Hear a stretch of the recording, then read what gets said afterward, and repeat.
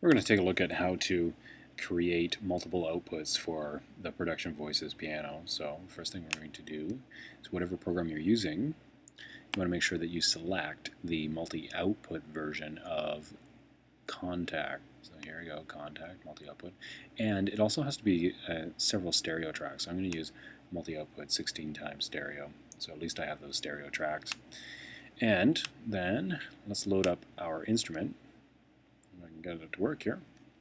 You go to the browser, production voices, there you go. It's just going to load up the instrument. I'll make it a little bit smaller. So to get the multi-outputs to work, we have to choose the edit. So I'm going to edit here.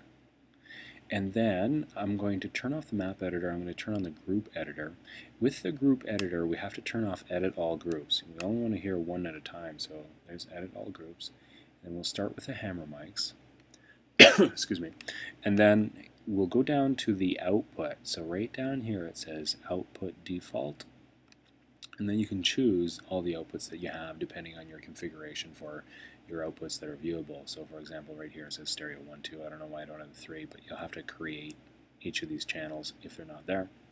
So all you have to do is assign them. So if I go output for that to be stereo 1, that's great.